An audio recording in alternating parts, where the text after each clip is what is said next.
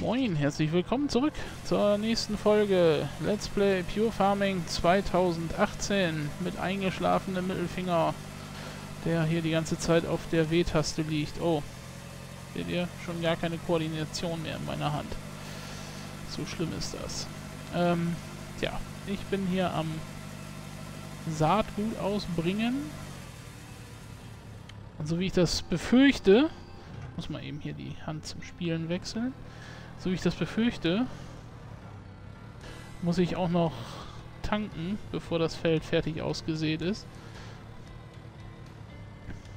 Weil der Spritverbrauch doch etwas hoch ist. Aber das ist ja etwas, was in dem Patch von letzten Freitag behoben ist. Das Problem ist nur, diese Aufnahmesession, da ist letzter Freitag morgen. Weil ich bin praktisch, äh, diese Aufnahmesession ist am Donnerstag vor dem Freitag, wo dieser Patch veröffentlicht wird. Deshalb habe ich den hier noch nicht installiert. Und äh, ja, wisst ihr schon mal Bescheid.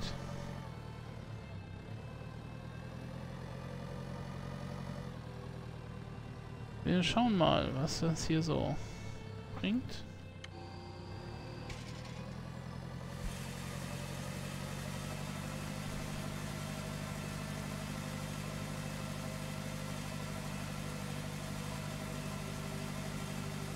Mal gucken, mal gucken. Echt langweilig.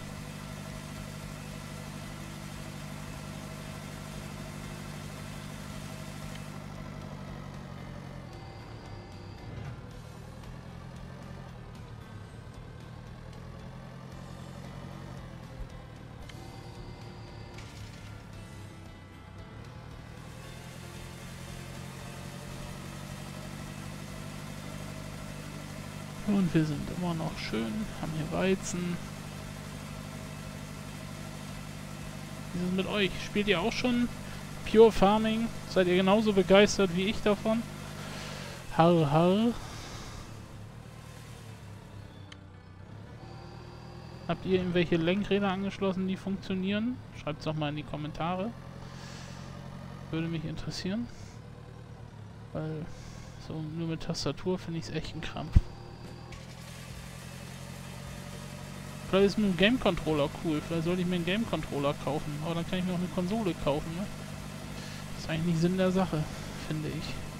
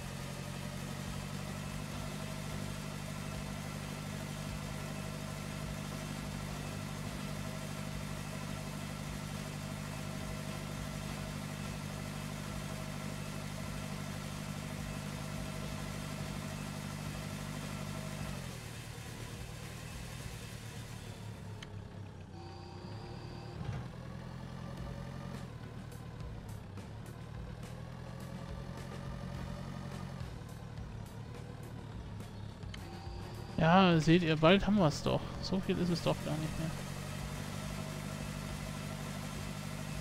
Nein, wir sind schon bei 76 Prozent. Das ist unfassbar.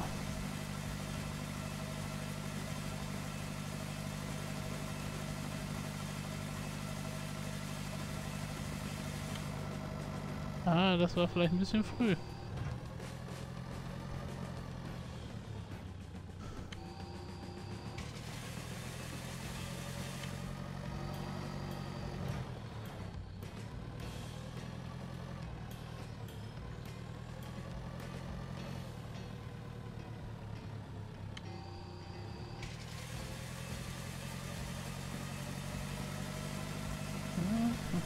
Schauen wir auf jeden Fall in dieser Folge hier fertig zu werden. Dem Ansehen, mal gucken, was dann kommt. Bewe oh, da muss ich das Feld auch noch bewässern. Da muss ich ja wahrscheinlich genauso lange rüberfahren, ey. Also da gucke ich mal, was ich da machen muss. Ob ich das dann wirklich durchziehe. Das weiß ich noch nicht.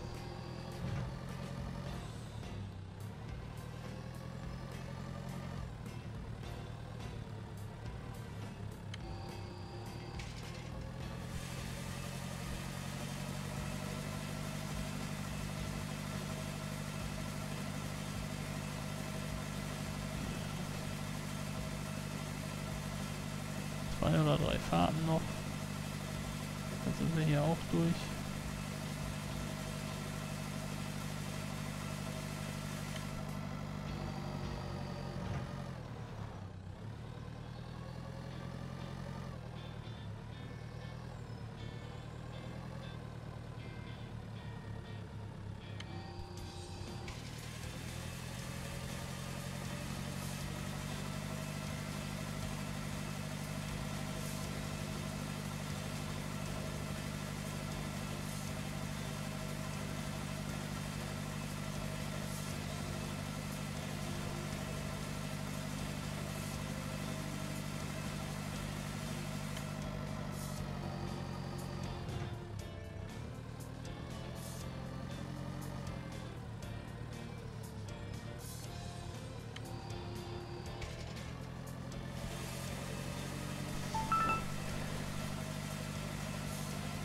8000 Kilo Weizen zur Kornkammer transportieren. Ja, dazu muss der erstmal gewachsen sein, du Vollhonk. Ich muss gleich erstmal tanken. Schon wieder.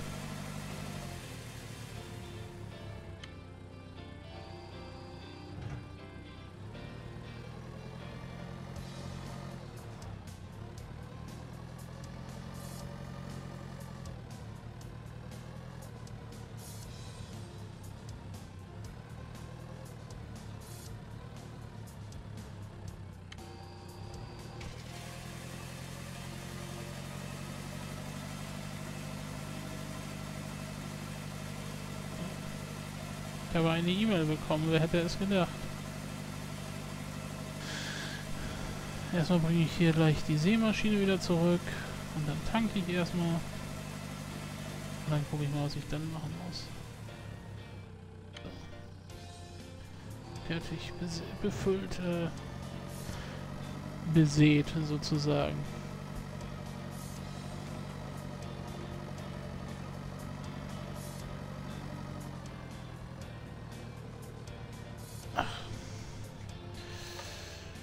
Das ist, wenn man von der Bedienung her im Kopf noch beim FS ist, äh, beim LS ist.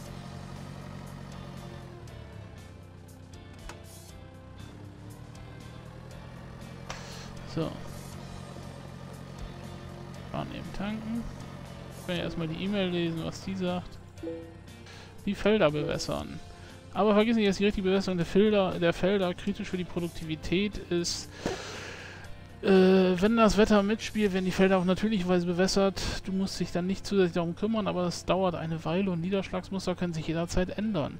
Eine Zisterne bietet eine andere Möglichkeit der Bewässerung. Du weißt bereits, wie man sie anschließt und füllt. Darum konzentriere ich mich auf die Feldarbeit. Aha, halte am Rand des Feldes an und starte den Springen. Jetzt musst du nur über das gesamte Feld fahren. Na moin, Hermann. Ich muss jetzt erstmal tanken. Und hier über das gesamte Feld fahren. Es wird schon wieder dunkel. Es geht schon wieder auf den Abend zu. Leute.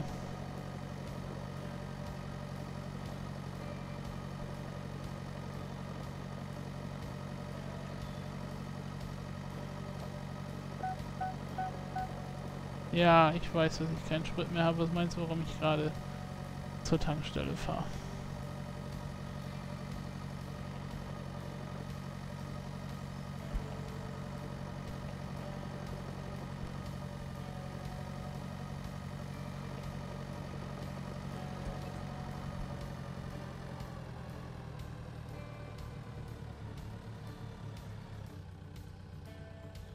Ja, ich möchte den Benzintank auffüllen. Was meinen Sie, warum ich zur Tankstelle fahre?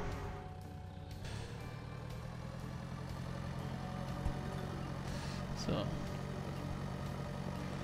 Jetzt muss ich erstmal meine meinen Wassertank holen. Den ich ja bei dem anderen Bauern stehen gelassen habe.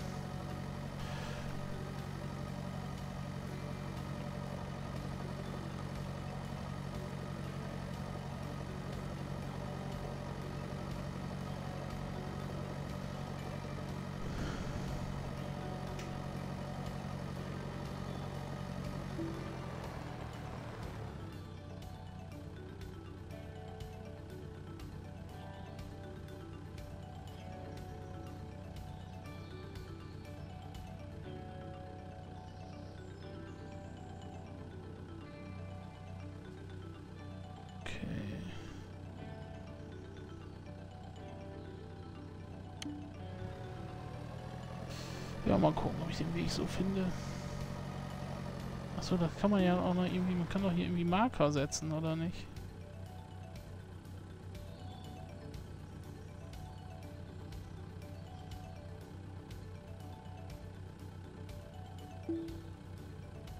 Genau.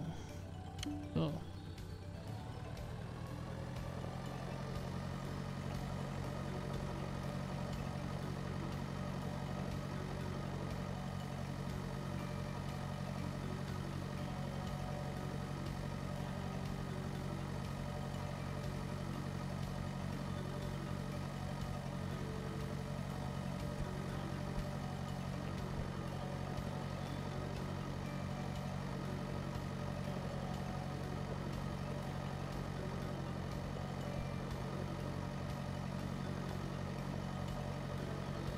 Ja, es dauert eben alles.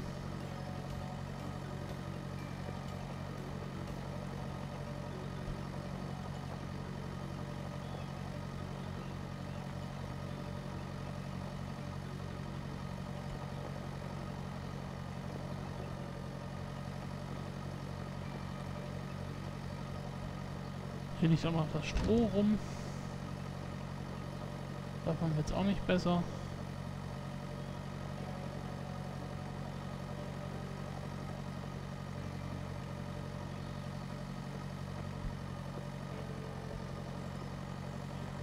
Vom Rumliegen.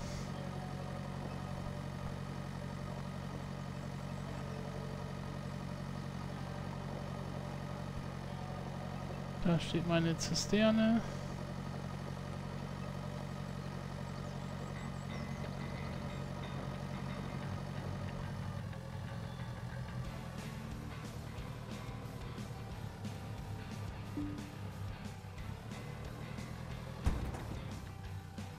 Ja, so kann man das machen, ne?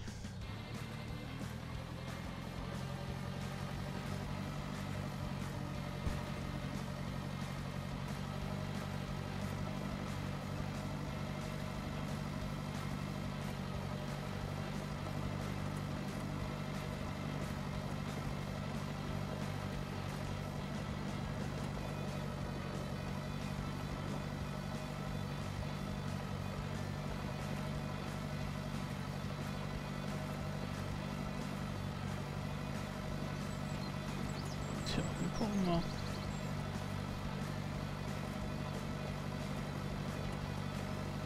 Erstmal hier oh, Wasser holen. Entschuldigung.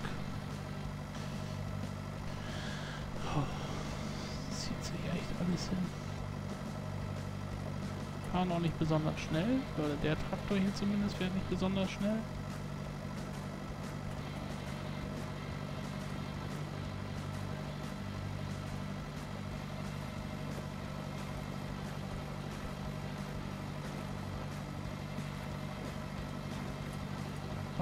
Ist die Pumpstation.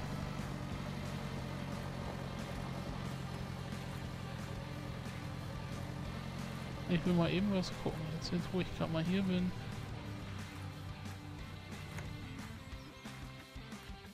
Diese Kristalle, kann man die aufsammeln? Bringt das? Oh, Saphir gesammelt. Na dann. Einen von 100. Mensch, aus welchem Spiel kommt mir das denn noch bekannt vor, dass da 100 Stück versteckt sind? Erstmal auffüllen. Ich habe eine E-Mail bekommen. Schatz der Schürfer. Du kannst in ganz Montana Schätze finden, die von den Goldschürfern vor vielen Jahren zurückgelassen wurden. Obwohl diese Schätze vergessen wurden, sind sie immer noch wertvoll. Wir sprechen hier von Edelsteinen. Saphire, die sich in Erdklumpen verbergen. Sammle Saphire, um diese gegen 200.000 Euro einzutauschen. Viel Glück! Kann ich jetzt jeden gegen 200.000 Euro eintauschen, oder? Oder wie ist das?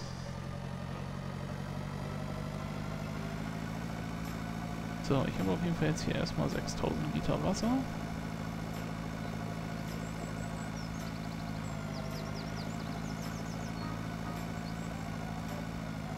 Nein, wahrscheinlich muss ich alle 100 Stück haben und dann kriege ich 200.000.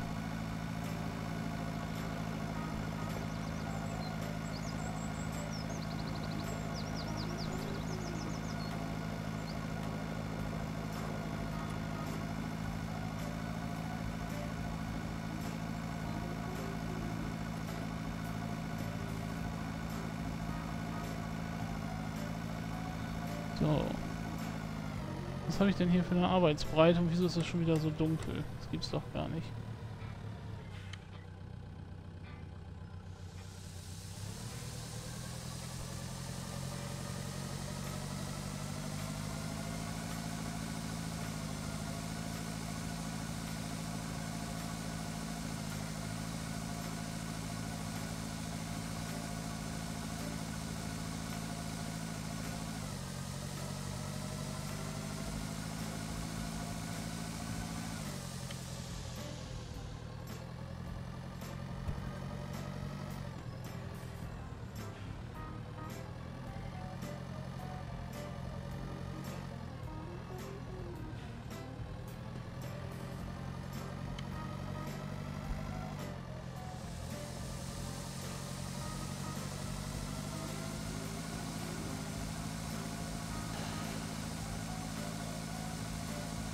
Dauert genauso lange wie dieses dämliche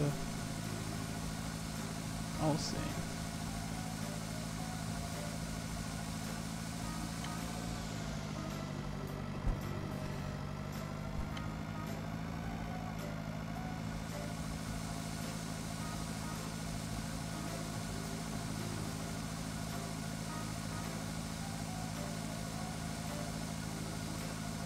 Unglaublich. Leute, Danke fürs Zuschauen. Vielleicht hat es euch ja ein bisschen gefallen. Wenn nicht, kann ich das verstehen.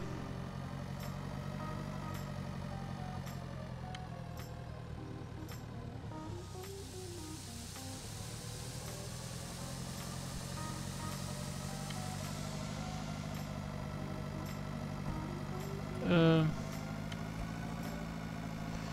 ja. Hinterlasst mir gerne einen Kommentar. Besucht auch meine LS17 Let's Plays, wenn ihr mögt. Äh, besucht mich bei Facebook und bei, auf meiner Website friesenjung13.de. Äh, ja, in diesem Sinne sage ich dann mal Ciao.